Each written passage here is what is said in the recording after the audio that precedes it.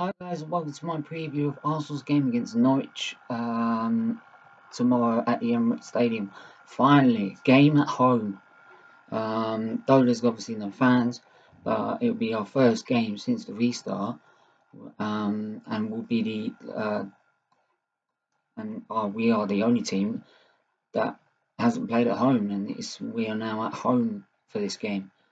Um, but like I said, without the fans, I don't think it'll make too much of a difference. Um, now, obviously, Norwich, bottom of the league, they'll be devastated, conceding so let on against Man United. Um, I think they deserved at least penalties out of that. I think they played very well, very defensively. Um, and it shows if they're on their day, it's going to be difficult. Don't forget, Man United have got a much better midfield than we have like the likes of Pogba, Fern, uh, Fernandes, Fred, um, compared to ours, Xhaka, Willock, uh. Um, so, yeah, it's we have to be on our game. Yes, they are bottom of the league, and we should be able to win comfortably. Uh, and but like I said, nothing's won on paper. Um, so we have to be disciplined, be professional, and go there and make it a comfortable afternoon for ourselves. I want to see an early goal, but then not sit back on it. I want Arteta to be brave. I want Arteta to score a goal and then do what we we always used to do, which is dominate the play, the, um, dominate with the uh, possession, um, and go and go for the throat. Um, yes, um, he's been doing a lot of counter-attacking football, but that means sitting back, and we I can't trust our defence doing that. And Sheffield United, yes, they had two offside goals, and they are offside. Um, but it can it what it did show is the the defensive frailties that we have in our defence. Um, it's not like we were playing for the offside flag. Um, and you aren't going to play any offside flag from a set piece. So we need to be disciplined, especially when it comes to defending, not conceding stupid free kicks or corners when necessary, and try and be more brave and more uh, confident on the ball, um, especially after scoring and not just give the game to the opposite side and then counter attack. So, um, in other news, is that Madrid's Partey deal um, apparently it's going to be a swap with Guendouzi, and that's been going around for the last couple of days, especially since Guendouzi apparently wants out. Um, Juve apparently have, have decided to want Aubameyang for around about 32 million pound. Um, again, these are links that are in the papers, and I don't believe a lot of these links, to be honest, which is why I don't really tell much about them because papers are just designed to wind the fan base up. They've done it numerous times because um, I don't know why. It, usually, it's just to get more views. Um, so don't believe I don't believe anything really that the papers say these days. I usually try and find it from the source itself, uh, which is Arsenal.com or a direct source or a very trusted source rather than just what's on the back of the newspapers because that is all it's doing is trying to fit their agenda. So, but um, the 3-4-3 that Arteta has been playing or 532, whatever you want to call it, it's been working in terms of its um, defensive shape. Um, but like I said again, we can still use that formation, but then use that to uh, be more dominant. So, uh, saying that, my lineup it was. Uh, I'm going to give you my lineup for this game, uh, and you can leave in the comments below whether you agree or not. Uh, so Martinez in goal, uh, obviously that's a given. Uh, and again, he's showing he's just as good as Leno um, in every department. Um, so I think we got very two, very good, two very good. Excuse me. We got two very good, reliable keepers on our on our hands, um, which bodes well in that department at least. Um, it's one thing with our defence, you get to see how good our goalkeepers are because the amount of saves they have to make and keep how many times they've got to keep us in the game. Uh, but right back, right wing back, I'll go Maitland Niles. He proved against Sheffield United why he should be starting. He's miles better than Bellerin. Miles. Right? What Bellerin needs to do is keep his head down, stop focusing on other things around him, and focus on his training. If he ever wants to get back in the side. Because at the minute, and Maitland Niles, what he needs to focus on is keeping that spot. He's got an opportunity here to take that spot away from Bellerin and say, you can fuck off. Right? You can do one. It's mine.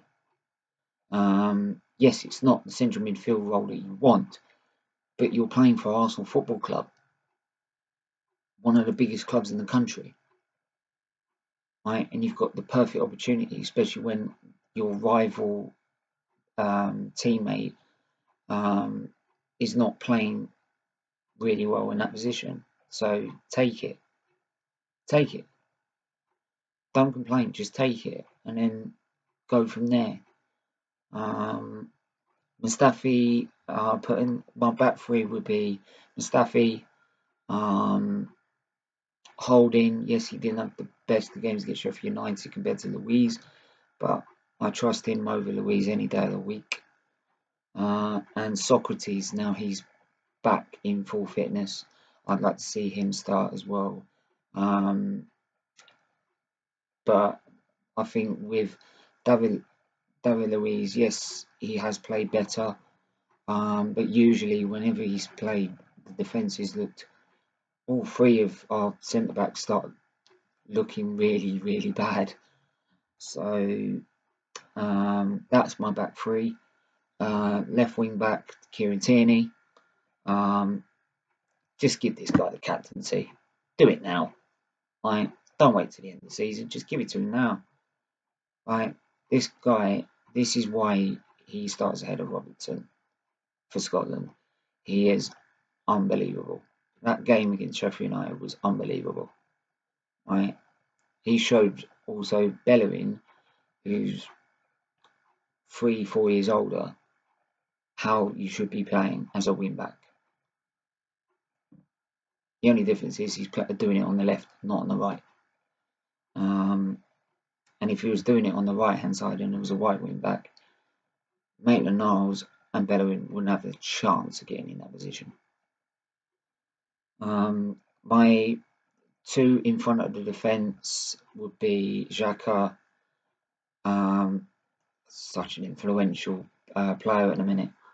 Um, and he's really stating a claim of why he should stay at the club. Um, whereas before we were all writing him off, um, he's proving that, and he's kept his head down and started to prove to the fan base that he deserves to be here. Um, and I'd put, though he wants out of the football club, the passion, desire, and work rate, um, I can't fault. And the fact that Willock Yes, he does show the same qualities. He didn't have a very good game against Sheffield United, in my opinion. So that's why I would start Guendouzi in front of him.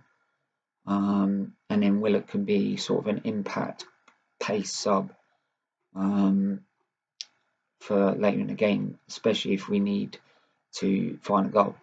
Um, so, uh, right wing back, Nicolas Pepe, no questions asked. Um, that's just one of the first names on the team sheet. So uh, Saka left wing back, uh, left wing back. Sorry, um, left wing. Um, again, another good performance. Like I said, he was a bit quieter to get Sheffield United, but the other performances just show why he should be starting, and the fact that Martinelli's not available um, it's also an opportunity to say, this is my spot. Martinelli, you're going to have to fight like hell to get back in. Um, so it'd be a nice sort of competition, especially when Martinelli comes back between Saka and Martinelli. The only difference is, is Martinelli, if need be, can start up front if we want to fit him in the side. So um, it shows again we've got two very exciting uh, players there. Uh, and up top, uh, Pierre-Emerick Aubame Aubameyang. Um, and again, uh, top goal scorer, right? I want us to score goals. And um, though Lacazette had a much better performance and a lot better influence on the game, Aubameyang, he scores goals for fun. Like you give him the ball half a chance, he'll put that ball in the back of the net. So, and hence why Juve want him so badly, um, if the rumours are true. So, um, yeah, he starts up top for me, and then uh, I put as uh, on the bench Leno, Luiz, uh, Willock, Ozil. Um, never know if the game's done. Ozil might even get a run out. Um, that's depending on his backache. He saw. I know people do suffer from severe or strange sort of backaches. Um, but he seems to get more backaches than I do, and I've had my muscles cut in my inner core 17 odd times, so they virtually don't exist. So all the pressure's on my back. Um, hence why I can't lift heavy things or do stuff that I want to do. So, um, but if he's fit, I'll uh, put him on the bench and he can make an impact later in the game if the game's especially if the game's done. Um, he can show us uh, why he should start for the next game, which will be a very tough game against Wolves uh, at Molineux. Um, and then uh, Lacazette, Nelson, uh, Ceballos, yes, he scored a goal. Yes, um, um, he proved his doubt was wrong in that game. But compared to Guendouzi, there's more end product with Guendouzi rather than Ceballos. Um, and he's still got a lot to prove, in in my opinion. If he comes on as an impact sub and makes a great impact again, then maybe he's turned a corner uh, in his performances. So that op- so that's why I put him on the bench for that option. Um, uh, and then Nketiah and uh, uh, Bellerin, uh, just because there's not much left of the squad. Um, and yeah, so that's my uh, lineup, my score prediction. I want us to score a few goals. I want us to make it a comfortable win. So I want us to be 3 0 up uh, and have the game done, buried. But due to the defensive uh, frailties, I do think we will concede. And and it will be towards I think it will be towards the end. I like especially if it's towards the end and we're 3 0 up and the game's done. Uh, it'd just be a lapse in concentration. So I predict 3 1 as my prediction. So that's my lineup. Uh, let me know if you, like I said, let, let me know if you agree or not. Also, if you think that we're going to win by one goal, or let me know what you predict as a scoreline. Um, leave that all in the comments below. Um, and like I said again, I can't believe I've made 100 subscribers on this channel. Um, and I can't thank you lot enough for subscribing. And if you haven't subscribed and you're watching this video, hit that subscribe button.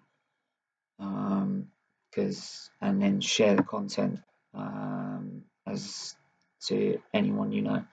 So yeah, uh, leave a like I said, leave a like, comment, subscribe, uh, and I'll speak to you guys soon. Hopefully, we've won quite comfortably against Norwich, and I'll be very happy in my review.